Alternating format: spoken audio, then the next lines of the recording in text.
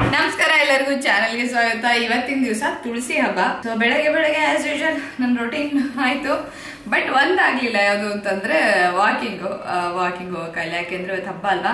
ನೆನ್ನೆ ಸಂಜೆ ಹೋಗಿ ಸ್ವಲ್ಪ ಶಾಪಿಂಗ್ ಮಾಡ್ಕೊಂಬರೋಣ ಅನ್ಕೊಂಡೆ. ಬಟ್ ಮಳೆ, ಅದು ಇದು ನಮ್ಮ ಮನೆ ಹತ್ರ ರೋಡೆಲ್ಲ ಏನೇನೋ ಆಗ್ತಾ ಇದೆ, ಕೆಲಸ. ಸೊ ವಾಪಸ್ ಮನೆಗೆ ಬಂದ ಮೇಲೆ ಒಂದ್ಸತಿ ಬೆಳಗ್ಗೆ ಸಂಜೆ ಕೆಲಸ ಮುಗಿದ್ಮೇಲೆ ಮತ್ತೆ ಸಂಜೆ ಮೇಲೆ ರೋಡಿಗೆ ಹೋಗೋದು. ಆ ಟ್ರಾಫಿಕ್ ಇದೆಯಲ್ಲ six to eight eight thirty ಇದೆಯಲ್ಲ? ಸೊ ಅದ್ರಲ್ಲಿ ಹೋಗಿ ಒದಾಡ್ಕೊಂಡು ಬರೋದಕ್ಕೆ ಮನ್ಸು ಬರೋದಿಲ್ಲ. ಬೆಳಗ್ಗೆ ಎನಿವೇಸ್ ನಾನು ನನ್ನ ಮಗಳನ್ನ ಡ್ರಾಪ್ ಮಾಡಕ್ಕೆ ಹೋಗ್ತಿದ್ದು ಸ್ಕೂಲ್ಗೆ ಸೊ ಹಾಗಾಗಿ ಪರವಾಗಿಲ್ಲ, ಆವಾಗಲೇ ತೊಗೊಂಬಂದ್ರೆ ಇತ್ತು ಏನು ತರಬೇಕು? ತುಳಸಿ ಹಬ್ಬಕ್ಕೆ ನೆಲ್ಲಿ ಕೊನೆ ತರಬೇಕು. ಸೊ ನೆಲ್ಲಿ ಕೊನೆ ಒಂದು ಸ್ವಲ್ಪ ಹೂವು, ಹಣ್ಣು. ಈ ವೀಕ್ ಡೇಸು ಮತ್ತು ಸ್ಕೂಲ್ ಇದ್ದಾಗ ಯಾವುದೇ ಹಬ್ಬಗಳು ಬಂದರೂ ಅಷ್ಟೊಂದು ಏನು ಇದಾಗಿ ಸೆಲೆಬ್ರೇಟ್ ಮಾಡೋಕ್ಕಾಗೋದಿಲ್ಲ. ಬಟ್ ಪೂಜೆ ಒಂದೇನು ಮಾಡಬೇಕು ಅದನ್ನು ಮಾಡೋದಕ್ಕೆ ಅಂತೂ ನನ್ನ ಕಡೆಯಿಂದ ಪ್ರಯತ್ನ ಇರುತ್ತೆ. ಸೊ ನೆಲ್ಲಿ ಕೊನೆ ತೊಗೊಂಬರೋಣ ಅಂತ ಹೋದೆ. ತೋರಿಸ್ತೀನಿ ಒಂದು ನಿಮಿಷ. So shopping shopping time but ಹಬ್ಬಕ್ಕೆ ಪೂಜೆಗೆ ಶಾಪಿಂಗು ನೆಲ್ಲಿ ಕೊನೆ ತೊಗೊಂಬಂದೆ ಚೆನ್ನಾಗೇನೋ ಸಿಕ್ತು. ಬಟ್ ಸಾಮಾನ್ಯ ಒಂದು ಐವತ್ತು ಅರವತ್ತು ರೂಪಾಯಿ ಸಿಗೋದು ಇಷ್ಟಕ್ಕೆ ಎಷ್ಟು ಕೊಟ್ಟಿರ್ಬೋದು? ಒಂದು ಅಂದಾಜು. ಕಮೆಂಟ್ ಸೆಕ್ಷನಲ್ಲಿ ಹೇಳಿ. ಕಾಯಿ ಎಲ್ಲ ತುಂಬ ಚೆನ್ನಾಗಿದೆ. ಬಟ್ ಏನು ಗೊತ್ತಾ ಇವಾಗ? ಕಾಯಿ ಇರೋದು ಟೊಂಗೆ ಒಂದು ಕೊಡ್ತಾರೆ. ಕಾಯಿ ಇರೋದ್ರೊಳಗೆಲ್ಲ ಸೊಪ್ಪಿರೋದೇ ಇಲ್ಲ. ಸೊ ಸೊಪ್ಪಿಂದು ಒಂದು ಕಿತ್ಕೊಂಡ್ಬಂದಿರ್ತಾರೆ ಈ ಆ, ಅಕ್ಕ ಇದು ತಗೊಳ್ಳಿ, ಸೊಪ್ಪಿದೆ ಅಂತ ಹೇಳಿ ಕೊಡ್ತಾರೆ. ಬರೀ ಕಾಯಿ ಇದೆಯಲ್ಲ ಅಮ್ಮ ಅಂತಂದ್ರೆ, ಇಲ್ಲ ಅಕ್ಕ ಇದು ತಗೊಳ್ಳಿ, ಸೊಪ್ಪಿರುತ್ತಲ್ಲ, ಇದನ್ನ ಎರಡನ್ನ ಸೇರಿಸಿ ಇಟ್ಬಿಡಿ ಇರ್ತಾರೆ ಸೊ ಎಷ್ಟೊಂದು ಸತಿ ಹಂಗೆ ಆಗುತ್ತೆ. ಸೊ ಇಷ್ಟು ಚೆನ್ನಾಗೇನೋ ಇದೆ ಇದು ನೆಲ್ಲಿ ಕೊನೆ ಒಂದು ಕಡ್ಡಿ ಅಲ್ಲ, ಇದೇನೋ ಒಂದು ಟೊಂಗೇನೋ ಬರ್ಕೊಂಡ್ ಬಂದಂಗಿದೆ ಸೊ ಇಷ್ಟಕ್ಕೆ ಎಪ್ಪತ್ತು ರೂಪಾಯಿ, ಎಂಬತ್ತು ರೂಪಾಯಿ ಅಂತನೋ ಅಂದು ಸೊ ಸರಿ, ಎಪ್ಪತ್ತು ರೂಪಾಯಿಗೆ ಕೊಟ್ಲು. ಏನೋ ವರ್ಷದಲ್ಲಿ ಒಂದ್ಸತಿ ನಾವು ಇಂಥದ್ದೆಲ್ಲ ಹೋಗಿ ತಗೋತೀವಿ. ತುಂಬಾ ಅವ್ರ ಹತ್ರ ಚೌಕಾಸಿ ಮಾಡಿ, ಅವ್ರಿಗೂ ಒಂದ್ ನಾಲ್ಕು ಕಾಸು. ಅಫ್ಕೋರ್ಸ್ ತರಕಾರಿ ಮಾರೋರೆಲ್ಲರಿಗೂ ಚೆನ್ನಾಗೇ ಇದೆ, ಇಲ್ಲ ಅಂತ ಏನಿಲ್ಲ ಇನ್ಫ್ಯಾಕ್ಟ್ ಕೆಲವು ಸತಿ ಸೂಪರ್ ಮಾರ್ಕೆಟ್ಗಳು ಇದ್ರೊಳಗೆ ನಮಗೆ ಕಡಿಮೆ ಬೆಲೆ ಸಿಗುತ್ತೆ ಈ ರೋಡ್ ಸೈಡ್ ಅಲ್ಲಿ ಮಾಡ್ತಾರಲ್ಲ, ಅವರಂತೂ ಒಂದು ಐದು ರೂಪಾಯಿ ಹತ್ತು ರೂಪಾಯಿ ಕಡಿಮೆ ಮಾಡಲ್ಲ. ಅಯ್ಯೋ, ಪಾಪ, ಅವ್ರಿಗೆ ಆಗಬೇಕು, ಹಂಗೆ ಹಿಂಗೆ ಅಂತ ಹೇಳೋರು ಇದ್ದಾರೆ ಬೇಕಾದಷ್ಟು ಜನ. ಬಟ್ ನನಗೇನೋ ಹಂಗ ಅನ್ಸಲ್ಲ. ಒಂದು ಕೆಲವು ಸತಿ ಅಂತೂ ಆರಿಸ್ಕೊಳಕ್ ಬಿಡಲ್ಲ. ಅದೆಲ್ಲ ಜೋರ್ ಬೇರೆ ಹೊಡಿತಿರ್ತಾರೆ. ಬಟ್ ಇವಾಗ ಅದೆಲ್ಲ ಎಲ್ಲ ಕೊರೋನಾ ಆದ್ಮೇಲೆ ಎಲ್ಲರಿಗೂ ಬಿಸಿ ತಟ್ಟಿದೆ. ಸ್ವಲ್ಪ ಸೈಲೆಂಟ್ ಆಗಿರ್ತಾರೆ ಯಾರಿಗೆ ಏನ್ ಬೇಕೋ ತಗೊಂಡ್ ಹೋಗ್ತಾರೆ. ಏನೊಂದು, ಅವ್ರು ಹೇಳಿದ ದುಡ್ಡು ಕೊಟ್ಮೇಲೆ ನಮ್ಗೆ ಬೇಕಾದ ತರಕಾರಿ ತಗೊಳ್ಳೋದು ನಮ್ಮಿದಲ್ವಾ ಸೊ ಹಂಗಾಗಿ ಹೆಂಗ್ ಗೊತ್ತು ಅವ್ರಿಗೂ ಸೂಪರ್ ಮಾರ್ಕೆಟ್ಗಳಿಗೆ ಹೋದ್ರೆ ನಾವು ಆರಿಸ್ಕೊಂಡೆ ತಾನೆ ತಗೊಳ್ಳೋದು. ಇನ್ನು ಕೆಟ್ಟದ್ದು ಅವ್ರು ಒಂದು ಕೆ ಜಿ ತುಂಬಿದ್ರೆ ನಾವೇನು ತೊಗೊಂಬರ್ತೀವ? ಸೊ ಹಾಗಾಗಿ ಎಪ್ಪತ್ತ, ಎಂಬತ್ತು ಅಂತ ತಂದು ಕೊನೆಗೆ ಎಪ್ಪತ್ತು ರೂಪಾಯಿ. ನಂಗೆ ಒಂದು ಐದು ಕಾಯಿ ಐದರಿಂದ ಹತ್ತು ಕಾಯಿ ಬೇಕಿತ್ತು ಆರತಿಗೆ ಇದಕ್ಕೆಲ್ಲ ಮಾಡೋದಕ್ಕೆ.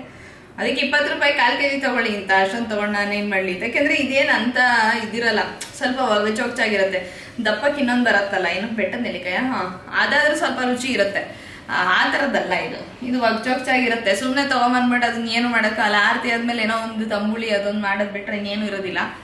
ಸೊ ಹಾಗಾಗಿ ಒಂದು ದೊಡ್ಡ ಶಾಪಿಂಗು ಬೆಳಗ್ಗೆ ಎದ್ದ ತಕ್ಷಣ ಆಗ್ಲೇ ನಿಮಿಷ ಮಾತಾಡಾಯ್ತು. ಇನ್ನೊಂಚೂರು ಹೂ ಹಣ್ಣು ಏನಾಗೋಯ್ತು ಅಂದ್ರೆ ಪರ್ಸಲ್ ದುಡ್ಡಿದೆ ಅಂದ್ಕೊಂಡು ನಾವು ಹೊಟ್ಟೋದೆ ಅಲ್ಲಿ ನೋಡ್, ನೋಡಿದ್ರೆ ನಂಗೆ ಒಂದು ಸ್ವಲ್ಪ ಹೂ ಬೇಕಾಗಿತ್ತು ಬಟ್ ಪರ್ಸಲ್ ದುಡ್ಡೇ ಇರಲಿಲ್ಲ. ಈಗ ಏನಾಗುತ್ತೆ ಅಂದ್ರೆ ಕಾರ್ಡು, ಈ ಫೋನ್ ಪೇ ಜಿ ಪೇ ಇವೆಲ್ಲ ಮಾಡಿ ಮಾಡಿ ಮಾಡಿ. ಕೆಲವರು ತಗೋತಾರೆ, ಎಲ್ಲರ ಹತ್ರ ಇರೋದಿಲ್ಲ. ಸೊ ಏನಾಗುತ್ತೆ ದುಡ್ಡಿಲ್ಲ ಅಂತಂದರೆ ಓಲಿ ಎಷ್ಟು ತೊಗೊಂಡು ತೊಗೊಳಕ್ಕಾಯ್ತು ಅಷ್ಟೇ ಸರಿ ಇಟ್ಕೊಂಡು ಬಂದೆ.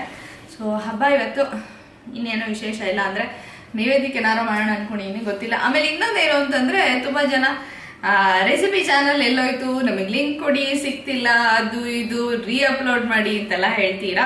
ಬಟ್ ರೆಗ್ಯುಲರ್ ಆಗಿ ಆ, ಯಾರು ನೋಡ್ತಿರ್ಲಿಲ್ಲ, ಯಾವಾಗಲೋ ಒಂದೊಂದ್ಸತಿ ಬಂದು ನೋಡೋರು, ಅವ್ರಿಗೆಲ್ಲ ಒಂಥರ ಸರ್ಪ್ರೈಸ್ ತರಾಗಿ ಇನ್ನೂ ಆ ಕಾಮೆಂಟ್ಗಳು ಬರ್ತಾನೆ ಇದೆ.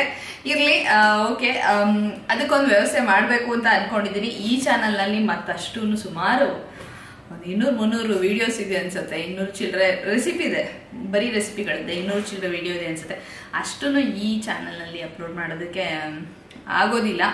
ಯಾಕಂದ್ರೆ ಇದನ್ನ ಬ್ಲಾಗಿಗೆ ಅಂತಾನೆ ಇಟ್ಟಿರೋದು. ಹಾಗಾಗಿ ಆ್ಯಂಡ್ ಯಾರು ಬ್ಲಾಗ್ಸ್ನ ಇಷ್ಟಪಡ್ತಾರೋ ಅಂಥವರೇ ಬಂದು ನೋಡ್ಲಿ. ರೆಗ್ಯುಲರ್ ಆಗಿ ನೋಡ್ಲಿ ಅನ್ನೋದು ನನ್ನ ಉದ್ದೇಶ.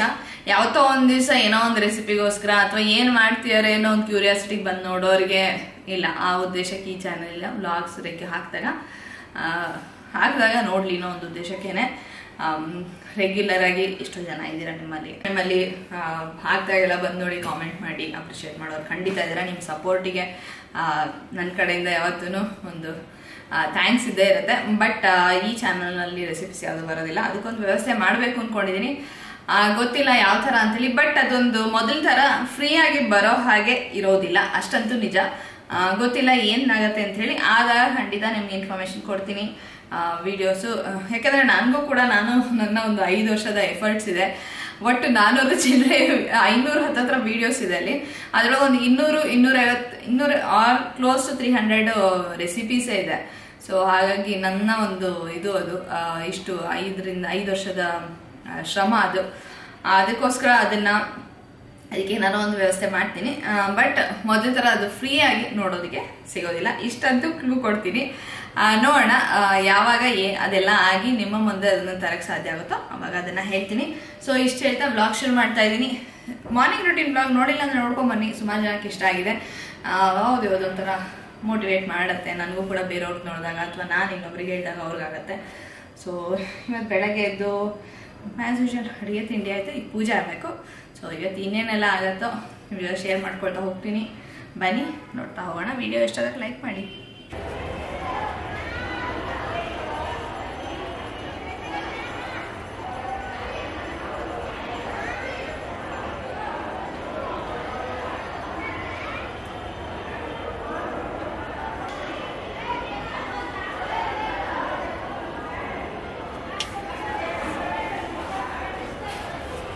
ನೆಲ್ಲಿಕಾಯಿ ಕೊನೆ ತಗೊಂಬಂದಿದ್ದು ಸಿಗಿಸ್ಬಿಡೋಣ ಅಂತ ಹೇಳಿ ಸಿಗಿಸ್ತಾ ಇದೀನಿ ಇಲ್ದಿದ್ರೆ ಅದು ಮರ್ತೆ ಹೋಗ್ಬಿಡುತ್ತೆ. ಅಲ್ಲೇ ಅಡಿಗೆ ಮೇಲೆ ಎಲ್ಲೋ ಕೂತಿರುತ್ತೆ. ಪೂಜೆ ಟೈಮಲ್ಲಿ ನೆನಪಾಗ್ಬಿಡುತ್ತೆ. ಅದಕ್ಕೆ ತಂದ ತಕ್ಷಣ ನೆನ್ ಸಿಗಿಸೋಣ ಅಂತೇಳಿ ಒಳ್ಳೆ ಒಂದು ನೆಲ್ಲಿಕಾಯಿ ಮರನೇ ಇಟ್ಟಾಗಿದೆ ಬನ್ನಿ, ತೋರಿಸ್ತೀನಿ.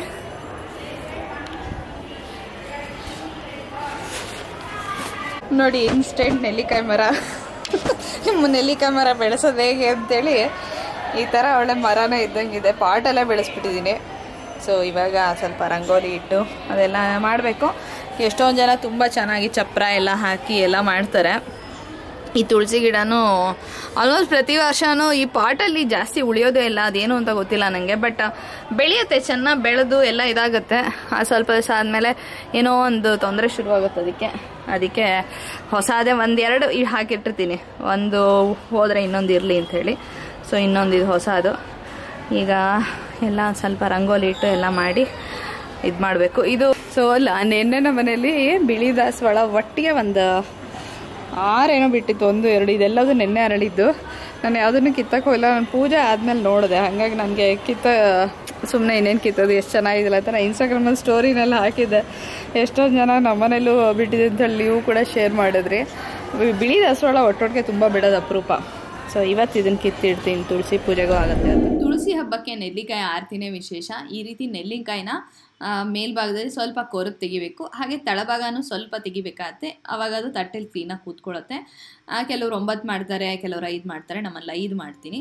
ಮೇಲ್ಭಾಗದಲ್ಲಿ ಕೊರೆದಿರ್ತೀವಲ್ಲ, ಆ ಜಾಗದಲ್ಲಿ ತುಪ್ಪದ ಬತ್ತಿನ ಇಟ್ಟರೆ ನೆಲ್ಲಿಕಾಯಿ ಆರತಿ ಎತ್ತೋದಕ್ಕೆ ತಯಾರಾಗುತ್ತೆ.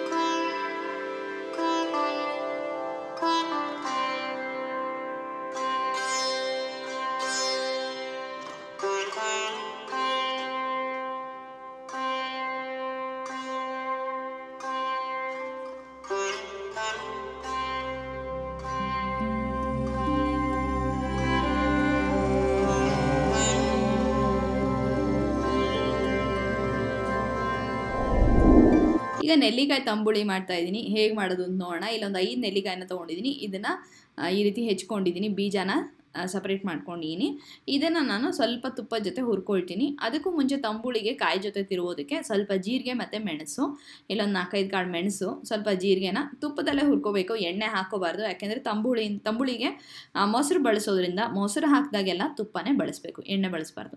ಈಗ ಅದನ್ನು ಹುರಿದಿದ್ದಾಯಿತು ತೆಗೆದಿಟ್ಕೊಂಡಿದ್ದೀನಿ ಈಗ ನೆಲ್ಲಿಕಾಯಿನ ಒಂಚೂರು ತುಪ್ಪ ಹಾಕ್ಕೊಂಡು ಇದನ್ನು ಕೂಡ ಹುರ್ಕೊಳ್ತೀನಿ. ತುಂಬ ಹೊತ್ತೇನಲ್ಲ, ಸ್ವಲ್ಪ ಅದು ಹಸಿ ಹಸಿದೆಲ್ಲ ಇದಾಗತ್ತೆ, ಒಂದು ಕೋಟಿಂಗ್ ಥರ ಆಗುತ್ತಲ್ಲ, ಅಷ್ಟಾದರೆ ಸಾಕು.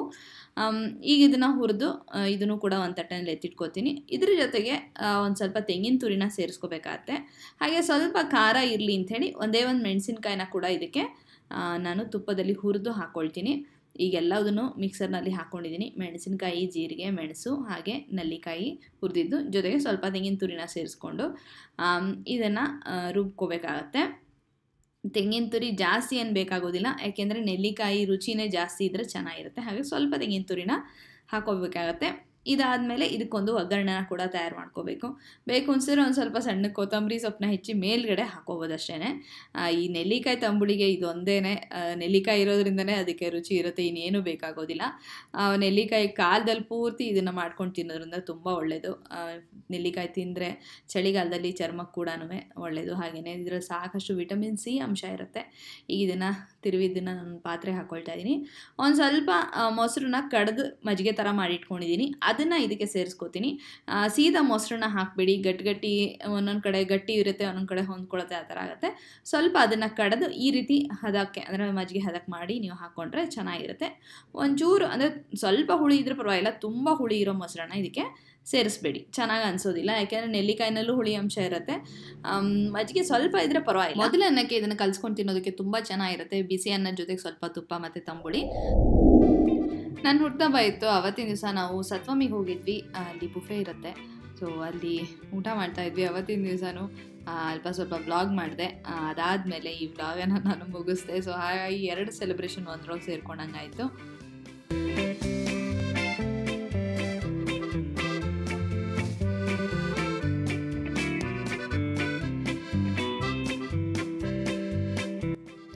ಪಾಸ್ತಾ ಕೌಂಟರ್ ಹತ್ರ ಬಂದಿದ್ದೀನಿ ಇಲ್ಲಿ ನಾವು ನಮ್ಗೆ ಯಾವ ತರಕಾರಿ ಬೇಕೋ ಅದನ್ನು ಹೇಳಿ ಹಾಕಿಸ್ಕೊಂಡು white sauce red sauce wheat pasta ಅಥವಾ ಮೈದಾ ಪಾಸ್ತಾ ಯಾವ್ದು ಬೇಕಾದ್ರೆ ಎಲ್ಲದನ್ನು ಚೂಸ್ ಮಾಡಿ ನಮ್ಗೆ ಹೇಗೆ ಬೇಕೋ ಹಾಗೆ ಮಾಡಿಸ್ಕೋಬೋದು. ಸೊ ಇಲ್ಲಿ ತರಕಾರಿ ನಾನು ಯಾವುದೋ ತರಿಸ್ಕೊಂಡಂದರೆ ಕ, ಇದು ಕಾರ್ನು ಬಟಾಣಿ ಜುಕಿನಿ ಎಲ್ಲವುದು ಕೂಡ ಐ ಥಿಂಕ್ ದೊಡ್ಡ ದಪ್ಪದ ಇನ್ನೊಂದು ಕಾರ್ನ್ ಬರುತ್ತಲ್ಲ ಬೇಬಿ ಕಾರ್ನ್ ಹಾಂ, ಅದನ್ನು ಒಂದು ಬಿಟ್ಟು ಇನ್ನೆಲ್ಲ ಹಾಕ್ಸೋಣ ನಂಗೆ ಅದು ಅಷ್ಟು ಇಷ್ಟ ಆಗೋದಿಲ್ಲ. ಅದು ಸರಿಯಾಗಿ ಬೇಯೋದು ಇಲ್ಲ ಕೂಡ, ಅದೊಂಥರ ಗಟ್ಟಿಗಟ್ಟಿಯಾಗಿ ಸಿಗ್ತಿರುತ್ತೆ. ಅದು ಮತ್ತು ಕ್ಯಾರೆಟ್ ನಂಗೆ ಇಷ್ಟ ಆಗೋದಿಲ್ಲ ಪಾಸ್ತಾದಲ್ಲಿ. ಇನ್ನೆಲ್ಲ ಅದು ಹಾಕ್ಕೊಂಡೆ ಸೊ ಆಮೇಲೆ ಸ್ವಲ್ಪ ವೈಟ್ ಸಾಸು ಜಾಸ್ತಿ ರೆಡ್ ಸಾಸ್ ಹಾಕಿ ಸೊ ವೀಟ್ ಪಾಸ ಏನಿತ್ತಲ್ಲ, ಅದನ್ನು ಹಾಕಿಸ್ಕೊಂಡು ಪಾಸ್ತಾ ತಯಾರು ಮಾಡಿಸ್ಕೊತಾ ಇದ್ದೀನಿ. ತುಂಬಾ ಚೆನ್ನಾಗಾಯಿತು. ಸಖತ್ ಟೇಸ್ಟಿಯಾಗಿ ಬ, ಇದು ಮಾಡಿದ್ರೆ ಸಾಸ್ ಎಲ್ಲ ಮೊದಲೇ ಮಾಡಿಟ್ಟಿರ್ತಾರೆ ಬಟ್ ನಾನು ಹೇಳ್ದ ಹಾಗೆ ಮಾಡಿ ನನಗೆ ಏನು ಟೇಸ್ಟ್ ಬೇಕೋ ಹಾಗೆ ಮಾಡಿಕೊಟ್ಟಿದ್ರು. ಹಾಗೆ ಸ್ವಲ್ಪ ಆಲಿವ್ಸು ಎಲ್ಲದನ್ನು ಹಾಕಿ, ಚೆನ್ನಾಗಿ ಒಲೆ ಮೇಲೆ ಬಿಸಿ ಮಾಡ್ತಾ ಚೆನ್ನಾಗಿ ಮಿಕ್ಸ್ ಮಾಡ್ತಿದ್ದಾರೆ ಪಾಸ್ತಾ ಅಲ್ಲಿಗೆ ತಯಾರಾಗುತ್ತೆ. ಸಾಸ್ಗಳೆಲ್ಲ ರೆಡಿ ಇದ್ದರೆ ಅಂದರೆ ನೀವು ಮಾಡಿ ಫ್ರೀಸರಲ್ಲಿ ಇಟ್ಕೊಂಡ್ಬಿಡ್ಬೋದು. ಬೇಕು ಅಂದಾಗ ಮಾಡ್ಕೋಬೋದು. ಅಲ್ಲಿಂದ ಪಾಸ್ತಾ ರೆಡಿ ಆದ್ಮೇಲೆ ತಂದು ನಾನು ಟೇಬಲಿಗೆ ಕೂತ್ಕೊಂಡು ತಿನ್ನೋಕ್ಕೆ ಶುರು ಮಾಡಿದ ತಕ್ಷಣ ನನ್ನ ಫೋನ್ ಬಂತು. ಸೊ ಹಾಗಾಗಿ ನಿಮ್ಗೆ ಆ ಪ್ಲೇಟ್ ತೋರಿಸೋದೇ ಮರ್ತೋಯ್ತು. ಆಮೇಲೆ ಅರ್ಧ ಮುಖಾಲಷ್ಟು ಖಾಲಿ ಆದಮೇಲೆ ಅಯ್ಯೋ ತೋರಿಸ್ಲಿಲ್ವಲ್ಲ ಅಂತ ನೆನಪಾಯಿತು. ಸೊ ಚೆನ್ನಾಗಿತ್ತು, ತುಂಬ ಟೇಸ್ಟಿಯಾಗಿತ್ತು ತರಕಾರಿ ಜಾಸ್ತಿ ಇರಬೇಕು ನನಗೆ ಹಾಗೆ ಸಾಸ್ ಕೂಡ ಜಾಸ್ತಿ ಇರ್ಬೋದು ಇರಬೇಕು. ಆ ಚೀಸ್ ಎಲ್ಲ ಹಾಕಿರ್ತಲ್ಲ ಹಾಗೆ ಸ್ವಲ್ಪ ಅರ್ಧ ಅರ್ಧ ಅದು ಗಟ್ಟಿಯಾಗೋಗ್ಬಿಡುತ್ತೆ. ತಂದಾಗ ಚೆನ್ನಾಗಿ ಸಾಸ್ ಜಾಸ್ತಿ ಇದ್ದ ಹಾಗೆ ಇತ್ತು ಚೆನ್ನಾಗಿ. ಸೊ ಟೇಸ್ಟು ತುಂಬ ಸಕ್ಕತ್ತಾಯಿತು ಯಾರಿಗಾರ ಬಾಯಲ್ಲಿ ನೀರು ಬಂತ ಕಾಮೆಂಟಲ್ಲಿ ಬರೆದು ತಿಳಿಸಿ. ಪಾಸ್ತಾ ಎಷ್ಟು ಜನಕ್ಕೆ ಇಷ್ಟ ನೋಡೋಣ. ಇದೇನೋ ಒಂದು ಡ್ರಿಂಕ್ ಇತ್ತು. ಹಾಗೆಯೇ ಇಲ್ಲಿ ಬುಫೆಯಲ್ಲಿ ಜಾಮೂನ್ ಅಂತೂ ಎಷ್ಟು ಸುಂದರವಾಗಿ ಕಾಣಿಸ್ತಿದೆ ಅಲ್ವಾ ಗುಂಡು ಗುಂಡುಗೆ. ಹಾಗೆಯೇ ಇಲ್ಲೆಲ್ಲ ಹಾಲಿಂದ ಮಾಡಿ ಸ್ವೀಟ್ಗಳು ಇದು ರಸ್ಮಲೈ ರೋಸ್ ರಸ್ಮಲೈ. ಹಾಗೆಯೇ ಇನ್ನೊಂದು, ಇದು ಇದು ಬೇಬಿ ರಸಗುಲ್ಲಗಳ ಥರ ಇರುತ್ತೆ ಬಟ್ ಅದನ್ನು ರಬಡಿಲಿ ಹಾಕಿರ್ತಾರೆ. ಹಾಗೆ ಇದೇನೋ ಒಂದು ಮಲಾಯ್ದಿತ್ತು, ಚಮಚಮ್ ಇತ್ತು, ಹಾಗೆ ಎಷ್ಟೊಂದು ಕೇಕ್ಗಳಿತ್ತು ಸೊ ಮೂರು ನಾಲ್ಕು ಥರದ್ದು ಪುಟ್ ಪುಟ್ ಪೀಸ್ ಇರುತ್ತೆ. ಒಂದು ಪೀಸ್ ತಿಂದ್ರೂ ಸಾಕು. ಯಾಕಂದರೆ ಎಲ್ಲ ಟ್ರೈ ಮಾಡಬೇಕಲ್ಲ. ಆಮೇಲೆ ಸಾಕಷ್ಟು ಫ್ರೆಶ್ಶಾಗಿ ಕಟ್ ಮಾಡಿದ ಹಣ್ಣುಗಳಿರುತ್ತೆ. ಸಖತ್ತಾಗಿರುತ್ತೆ. ಸತ್ವಂ ಇದು ಸದಾಶಿವ ನಗರದಲ್ಲಿದೆ. ಜೆ ಪಿ ನಗರದಲ್ಲಿ ಕೂಡ ಇದೆ. ಹಾಗೆ ಇದೇನೋ ಬನಾರಸಿ ಕೋಫ್ತಾ ಕರಿ ಇತ್ತು, ಪನ್ನೀರ್ ಇತ್ತು. ಆಮೇಲೆ ತೋರಿಸ್ತೀನಿ. ಇನ್ಯಾವುದಿತ್ತು? ಇದು ಕೂಡ ಇದೇನೋ ಮರ್ತೋಗಿದೆ ನನಗೆ ಹೆಸರು. ದಾಲ್ ಅನಿಸುತ್ತೆ ಒಂದು. ಇನ್ನೊಂದು ಇದು ವೆಜ್ ಮಲೈ ಇತ್ತು. ಇನ್ನೊಂದು ಆಲೂದೊಂದು ಗ್ರೇವಿ ಇತ್ತು, ತುಂಬ ಚೆನ್ನಾಗಿತ್ತು. ಬೇಬಿ ಪೊಟ್ಯಾಟೋಸ್ ಪೊಟ್ಯಾಟೋಸ್ನ ಹಾಕಿ ಮಾಡಿದರು. ಹಾಗೆ ಇದು ಪಾಲಕ್, ಕಾರ್ನ್ ಅನಿಸುತ್ತೆ, ಮತ್ತು ಇನ್ನೊಂದೇನೋ ಸಬ್ಜಿ, ಗೊತ್ತಿಲ್ಲ. ಇದು ವೆಜ್ ಬಿರಿಯಾನಿ, ಇದು ತುಂಬ ಚೆನ್ನಾಗಿತ್ತು. ನಾನಿವತ್ತು ರೋಟಿ ಎಲ್ಲ ತಿನ್ನಕ್ಕೆ ಹೋಗಲಿಲ್ಲ. ಬೇಜಾರಾಗೋಯಿತು. ಹಾಗಾಗಿ ಬರೀ ವೆಜ್ ಬಿರಿಯಾನಿ, ಹಾಂ, ಇದು ನೂಡಲ್ಸು ಮತ್ತು ಇನ್ನೇನೋ ಒಂದು. ಹಾಗೆ ನೋಡಿ, ಇಲ್ಲಿ ಕುಕ್ಕರಲ್ಲಿ ಚಿತ್ರಾನ್ನ, ಪುಳಿಯೋಗರೆ ಎಲ್ಲ ಇದೆ. ಯಾರು ಎಷ್ಟು ಕುಕ್ಕರ್ ತಿಂತೀರಾ? ಕುಕ್ಕರ್ ಎಲ್ಲ ತಿನ್ಬಿಡ್ಬೋದು ಸೌತೆಕಾಯಿ, ಸ್ವಲ್ಪ ಸಲಾಡು ಚೂಚು ಸಬ್ಜಿ ಟ್ರೈ ಮಾಡೋಣ ಅಂತ ತಂದಿದ್ದೀನಿ ಕಿಚಡಿ ಚೆನ್ನಾಗಿ ಅನ್ನಿಸ್ತು ತರಕಾರಿ ಎಲ್ಲ ಹಾಕಿ ಮಾಡಿದ್ರು. ಬಿಸಿ ಬಿಸಿಯಾಗಿದೆ ಅನಿಸ್ತು ಸೊ ಈ ಚಳಿ ಚಳಿ ವೆದರ್ಗೆ ಚೆನ್ನಾಗಿರುತ್ತೆ ಅಂತೇಳಿ ಅದನ್ನು ತೊಗೊಂಬಂದೆ. ನೋಡೋಣ, ತಿನ್ಬಿಟ್ಟು ಹೇಳ್ತೀನಿ ಹೆಂಗಿತ್ತು ಅಂತ.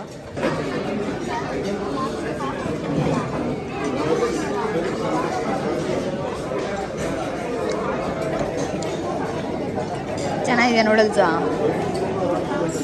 ಏನೇನು ತಿಂದೆ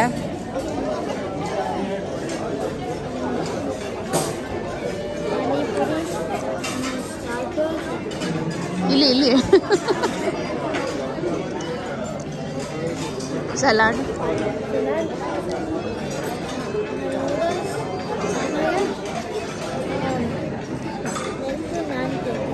ಹೌದಾ ಸಬ್ಜಿ ಏನದ ಮಿಕ್ಸ್ ವೆಜ್ಜಾ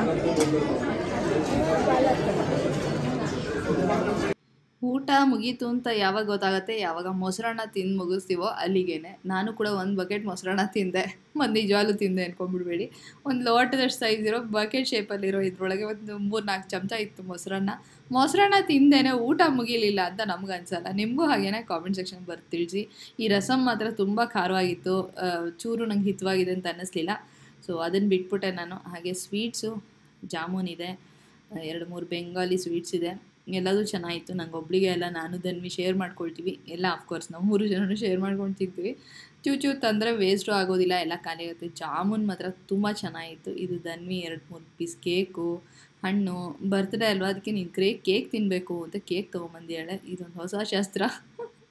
ಇದೆಲ್ಲದು ಸ್ವೀಟ್ಸ್ ಎಲ್ಲ ಚೆನ್ನಾಗಿತ್ತು. ಒಂದೆರಡು ಫೋಟೋನೂ ಆಯಿತು. ನಮ್ಮ ದಿವಸ ಈ ಥರ ಸುಂದರವಾಗಿ ಕಳೀತು. ನಿಮಗೂ ಕೂಡ ಇದನ್ನೆಲ್ಲ ನೋಡಿ ತುಂಬ ಸಂತೋಷ ಆಗಿದೆ ಅಂತ ಅನ್ಕೊಂಡೆ ಏನೇನಿದೆ ಇದರೊಳಗೆ? Vanilla ice cream strawberry ಸ್ಟ್ರಾಬೆರಿದು sauce strawberry sauce litchi and cherry and chocolate stick. Taste ಚೆನ್ನಾಗಿದೆ ಚೆನ್ನಾಗಿದೆ. ಚೆನ್ನಾಗಿದೆ.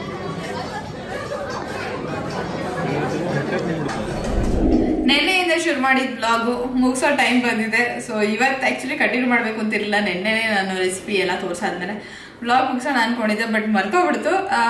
ಒಂದು ರೀತಿ ಒಳ್ಳೇದಾಯಿತು. ಸೊ ಇವತ್ತಿನ ದಿವಸ ನನ್ನ ಬರ್ತ್ಡೇದು ಒಂಚೂರು ಸೇರಿಸೋಂಗಾಯಿತು ಬರ್ತ್ಡೇ ಪ್ರತಿ ವರ್ಷ ಬರುತ್ತೆ, ಹೋಗುತ್ತೆ.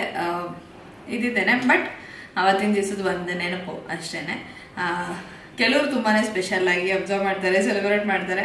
ಬಟ್ ನನಗೆ ತುಂಬ ಸ್ಪೆಷಲ್ ಆಗಿ ಅಂತ ಏನನ್ಸಲ್ಲ, ಆದರೆ ಏನೋ ಒಂದು ಚಿಕ್ಕ ಪುಟ್ಟ ಸೆಲೆಬ್ರೇಷನ್ ಅಂತೂ ಖಂಡಿತ ನಡೀತಿರುತ್ತೆ. ನಮ್ಮನೇಲಿ ನಮ್ಗಂತ ಅಲ್ದಿದ್ರು ಧನ್ವಿಗೋಸ್ಕರ ನಾನು ನಡೆಯುತ್ತೆ. ಅವಳಿಗೆ ಖುಷಿ ಇರುತ್ತೆ, ಅವಳಿಗೆ ಎಕ್ಸೈಟ್ಮೆಂಟ್ ಇರುತ್ತೆ. ಯಾರ್ದಾರೋ ಹುಟ್ಟು ಬಂತು ಅಂದರೆ ಅವಳಿಗೆ ತುಂಬ ಎಕ್ಸೈಟ್ಮೆಂಟ್ ಇರುತ್ತೆ. ಸೊ ಹೀಗೆ ಒಂದು. ಅದನ್ನು ಕೂಡ ನಿಮ್ಮ ಜೊತೆ ಚೂರು ಬಾರಿಸಿ ಶೇರ್ ಮಾಡಿಕೊಂಡೆ. ನಂಗೆ ಗೊತ್ತು ಕಾಮೆಂಟ್ ಸೆಕ್ಷನಲ್ಲಿ ನೀವೆಲ್ಲರೂ ಬರ್ತದೆ ವಿಶಸ್ ಹೇಳ್ತೀರಾ. ಯಾ, ಪಾಪ ಬ್ಲಾಗ್ನ ಪೂರ್ತಿ ನೋಡಿ ವಿಶಸ್ ಹೇಳಿದವರು ಯಾರೋ ಒಬ್ರು ಕಾಮೆಂಟ್ ಮಾಡಿರ್ತಾರೆ. ಅವ್ರದ್ದು ನೋಡಿ ಬೇಕಾದಷ್ಟು ಜನ ಅದೇ ರೀತಿ ವಿಶಸ್ ಹೇಳ್ತೀರಾ. ಬಟ್ ಯಾವುದೇ ರೀತಿ ಇರಲಿ. ಪೂರ್ತಿ ಬ್ಲಾಗ್ನ ನೋಡಿ ವಿಶ್ ಮಾಡಿದರೆ ಖಂಡಿತ ಖುಷಿ ಆಗುತ್ತೆ. ನೋಡಿದೆ, ಬೇರೆಯವ್ರ ಕಾಮೆಂಟ್ ನೋಡಿ ವಿಶ್ ಮಾಡ್ತಿದ್ರೆ ಅದು ಕೂಡ ಓಕೆ ಬಟ್ ಪೂರ್ತಿ ಬ್ಲಾಗ್ನ ನೋಡಿ ಶೇರ್ ಮಾಡಿ. ಆಗ್ಲೇ ನನಗೂ ಕೂಡ ಒಂದು ಖುಷಿ ಇರುತ್ತೆ. ಹಾಗೇನೆ ವೀಡಿಯೋನ ಮಾಡಬೇಕಾದ್ರೆ ಒಂದು ಉತ್ಸಾಹ ಇರುತ್ತೆ. ಸೊ ಇಷ್ಟ ಹೇಳ್ತಾ ಇವತ್ತಿನ ಬ್ಲಾಗ್ನ ಮುಗಿಸ್ತಾ ಇದ್ದೀನಿ. ಅಫ್ಕೋರ್ಸ್ ಈ ಕುರ್ತಾ ಇಲ್ಲಿ ಇನ್ನೊಂದು ಪ್ರಶ್ನೆ ಬರುತ್ತೆ. ಸಿಂಪಲ್ ಕುರ್ತಾ ಇದು ಫ್ಯಾಬ್ ಇಂಡಿಯಾದಿದು ಇದು ಬಾಗ್ರು ಅಲ್ಲ, ಇನ್ಯಾವುದೋ ಒಂದು ಪ್ರಿಂಟ್ ಅಂತಾರಲ್ಲ, ಅದು ಇದು. ತುಂಬಾ ಚೆನ್ನಾಗಿ ಅನಿಸ್ತು ನನಗೆ ತೊಗೊಳ್ಬೇಕಾದ್ರೆ ಕಂಫರ್ಟಬಲ್ ಆಗಿದೆ. ಸಮ್ಮರಿಗೂ ಕೂಡ ಉಪಯೋಗ ಬರುತ್ತೆ. ಏ- ಮುನ್ನೂರ ಅರವತ್ತೈದು ಯಾವ ಯಾವತ್ತಾರು ಉಪಯೋಗ ಬಂದೇ ಬರುತ್ತೆ. ಸಮ್ಮರಲ್ಲಂತೂ ಇನ್ನೂ ಜಾಸ್ತಿ ಬರುತ್ತೆ. ಈ ಥರ ಒಳ್ಳೆ ಫ್ಯಾಬ್ರಿಕ್ಕು ಕಂಫರ್ಟಬಲ್ ಆಗಿರೋದೆಲ್ಲ ಸಿಕ್ಕಿದಾಗ ತೊಗೊಳ್ತೀನಿ ನಾನು. ಸೊ ಆ ಥರದ್ದು ಒಂದು ಕುರ್ತಾ ಇದು. ಲಾಂಗ್ ಕುರ್ತಾ ಅಷ್ಟೇ ನನಗೇನೋ ಇಷ್ಟ ಆಯಿತು ವೈಟ್ ಆ್ಯಂಡ್ ಪಿಂಕ್ ಕಾಂಬಿನೇಷನಲ್ಲಿ ಸೊ ಇಷ್ಟ ಹೇಳ್ತಾ ವ್ಲಾಗ್ನ ಮುಗಿಸ್ತಾ ಇದ್ದೀನಿ ವ್ಲಾಗ್ ಇಷ್ಟ ಆಗಿದೆ ಅಂತ ಅನ್ಕೊಳ್ತೀನಿ. ಇಷ್ಟ ಆದರೆ ಒಂದು ಲೈಕ್ ಕೊಡೋದನ್ನ ಮರಿಬೇಡಿ ಹಾಗೆ ಚಾನಲ್ ಹೊಸಬರಾಗಿದ್ದರೆ ಸಬ್ಸ್ಕ್ರೈಬ್ ಮಾಡ್ಕೊಳ್ಳಿ. ಕಾಮೆಂಟ್ ಸೆಕ್ಷನಲ್ಲಿ ನಿಮ್ಮ ಅನಿಸಿಕೆ ಅಭಿಪ್ರಾಯನ ಖಂಡಿತ ಬರ್ತಿಳಿಸಿ ಇಷ್ಟ ಹೇಳ್ತಾ ಇನ್ನೊಂದು ಸುಂದರವಾದ ವ್ಲಾಗ್ನಲ್ಲಿ ಭೇಟಿ ಆಗ್ತೀನಿ ಅಲ್ಲಿವರೆಗೂ ಧನ್ಯವಾದಗಳು.